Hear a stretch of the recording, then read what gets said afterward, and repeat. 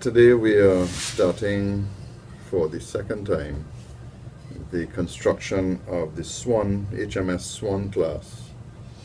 And I am going to be building the HMS Thorn um, which was one of the British ships that invaded Trinidad in the year 1797 to overthrow the Spanish.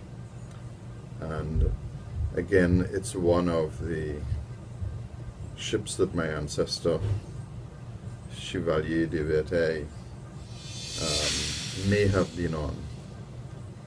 Um, so it's part of the history of Trinidad and Tobago. And of course, these wonderful books written by David form the basis of, of this build. I had actually started this, I think it's about four years ago, and quickly ran into a, a skill problem.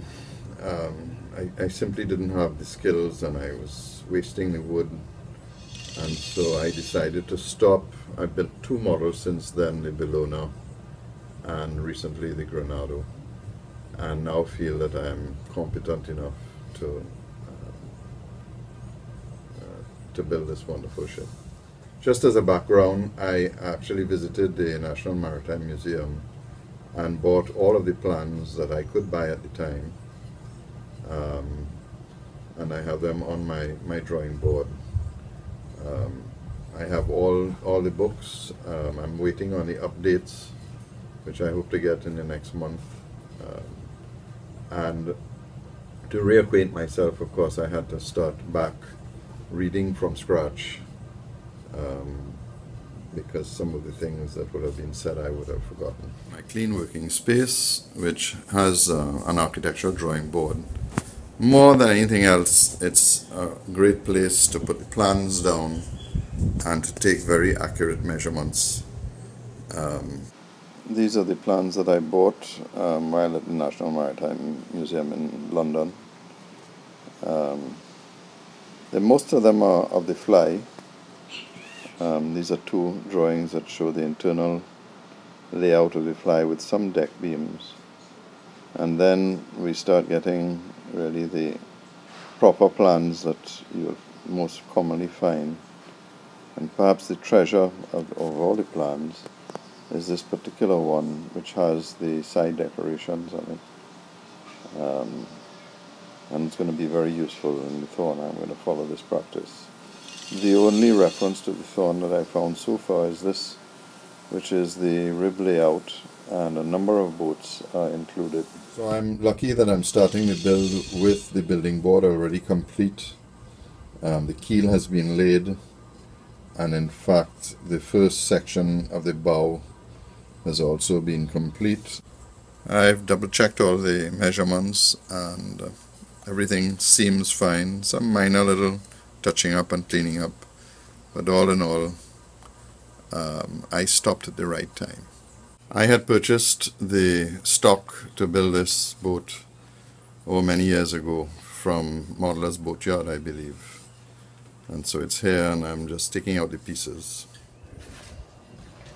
It's taken me three or four days to get back into the thick of things. Um, I found my old French ruler to be the key to draw those very difficult lines actually on the We're going to use the Proxxon bandsaw to cut all the parts out. Here we go.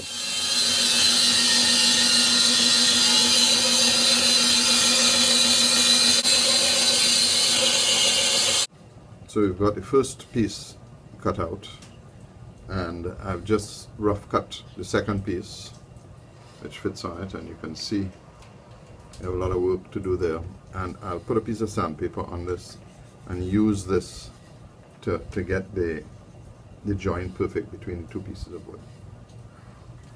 I had bought this sander a few years ago and it turned out to be really a good investment. And you have lots of um, curves to do both inside and outside. It's very good at doing that.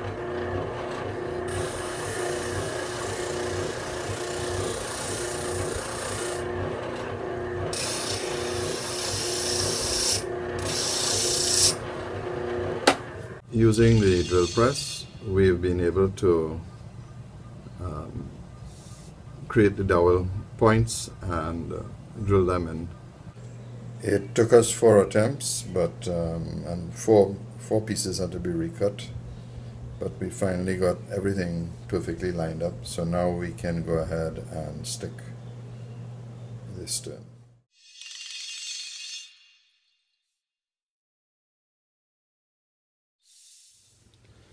The um, to get the steps uh, for the first set of uh, frames, we simply took a caliper and um, and transcribed them on. No carbon was used, no paper. We literally went to the drawing drawing board. These are all straight um, 90 degree lines from the base, so it was really not hard to transfer all the lines very accurately onto the onto the piece that had been stuck. The Sherline milling machine is certainly going to be a key tool in this build. That was quite an easy job, much easier than I thought, particularly using this um, this table, which helps you when you're coming close to the lines um, that you just have one wheel to turn rather than two if you're using the other side. And of course, as soon as you need to start cutting these um, steps out, you need to get your chisels, and guess what that means? It means you need to sharpen all your chisels. You who have know me on Videoland know that I'm a tool pyong. So these are some absolutely wonderful Japanese knives that I got from Lee Valley and the Veritas chisels which are, are really the finest chisels I've come across. I can't remember where I got these from. They are less expensive, um, but they also work fine. And then some very small hand tools. Again, I think these came from Lee Valley.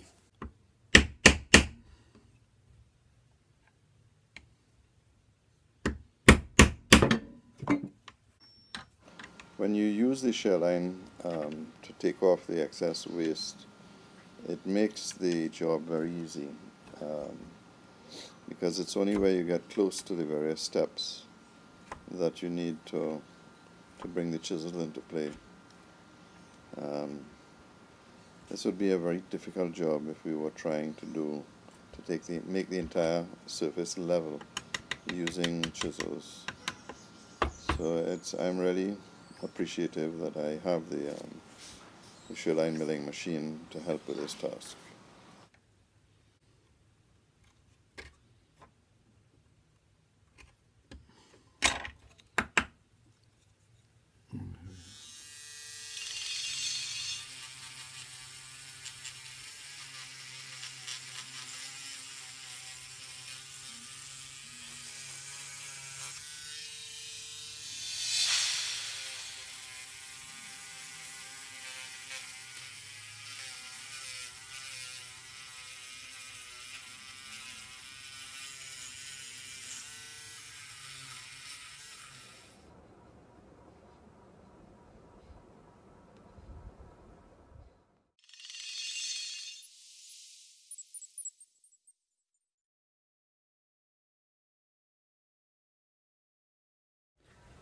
The, the biggest challenge um, with this build is going to be to try and get the measurements as accurate as possible. I use this uh, digital uh, vernier caliper because uh, it gives me all sorts of options in terms of metric, imperial, and in terms of imperial, which is what we're using on this build, um, gives me percentages of an inch. So I was able to work out the various percentages that the inches make and work them out very precisely. And then together with this knife, I can mark fairly accurately what the measurements are. Um, so I, I would put a, a, very fine line and use a pencil to mark that line afterwards because some of the, the lead will get into it and then clean it off. Instead of using the, um, the saw to cut the taper, I actually drew the lines on the edge, uh, the back edge of the taper on both sides. and then used the uh, rotating sander um, to take it down and then use sandpaper to take it down from there. And as a result, I was able to get literally within um, 0.204 instead of 0.208. And just a, a, final note, when you're sanding to get a dimension of a piece of wood and you're taking it down on both sides, the old technique of sanding and counting um, helps tremendously. Um, I tend to either do tens or twenties on one side and then flip it over and do the same amount on the other side. And that's resulted in an absolutely fair taper um, in this case. I'm going to try and keep the videos down to about 10 minutes um, because I have trouble posting them on Vimeo if they tend to get above that.